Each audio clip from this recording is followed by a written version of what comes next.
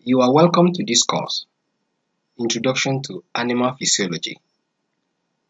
And in this episode, we're looking at digestive physiology.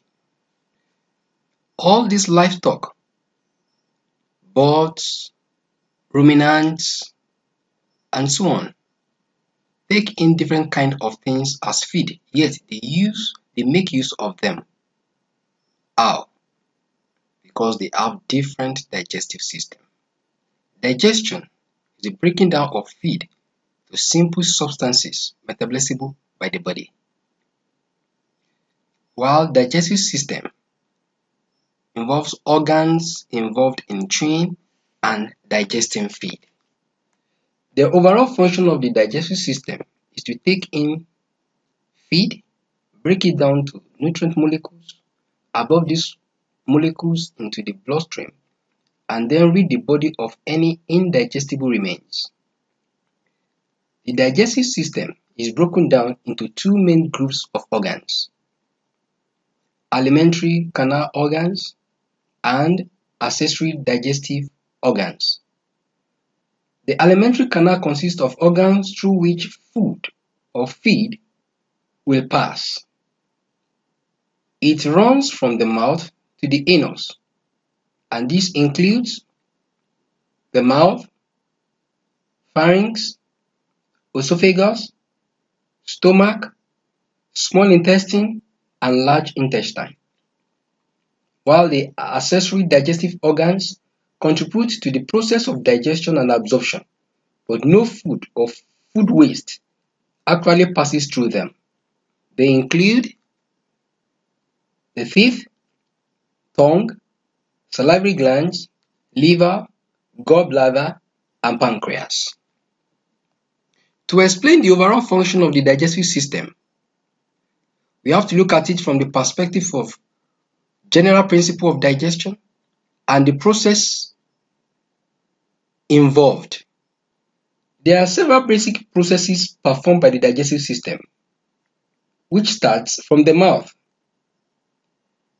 The food or feed is injected or enclosed into the alimentary canal, and there the teeth grind it by mechanical digestion.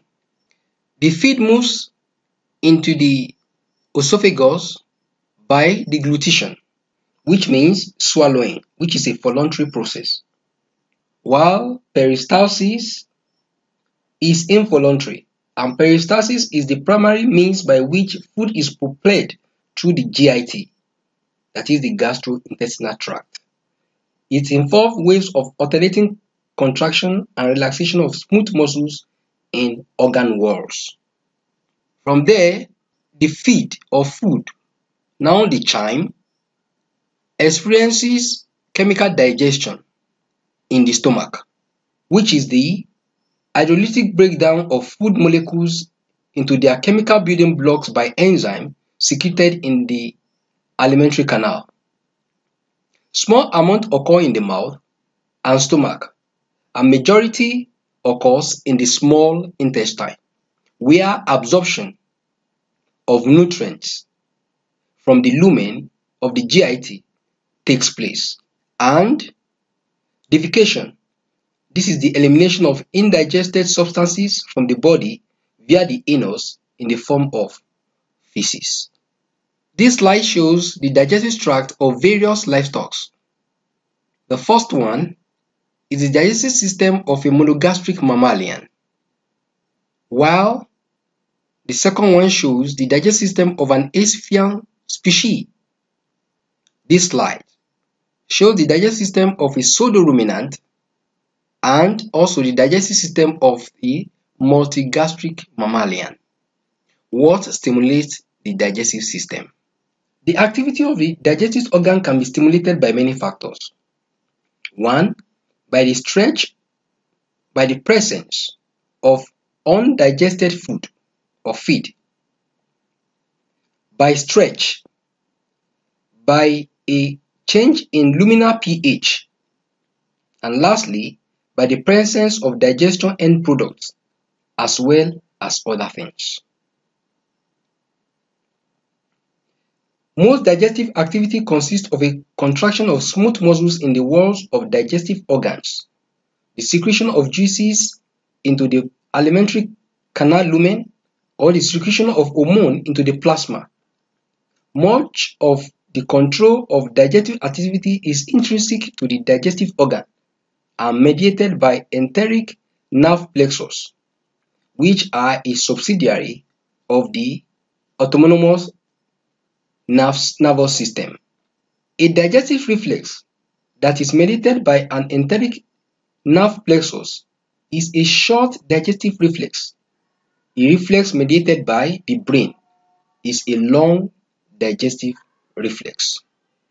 Most digestive organs are covered by a serous membrane, which is also called the visceral peritoneum.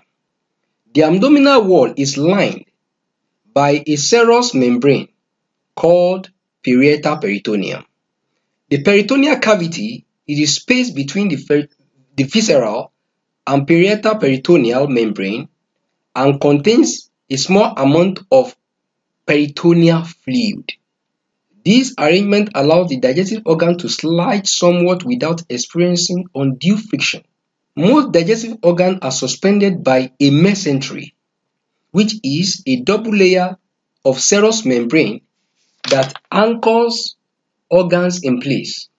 Mesenteries also provide a connective tissue road through which nerves, blood vessels, and lymph vessels can travel. Organs lying against the abdominal wall have no mesenteries. They lie posterior to the peritoneum and thus are retroperitoneal. They include the duodenum, pancreas, ascending colon, descending colon, and rectum. The organs will have a serous anteriorly and an adventitia posteriorly. Questions Go over this lecture again and ask yourself questions. Break down the digestive system into two and draw the alimentary canal of different class of livestock. Thank you for listening.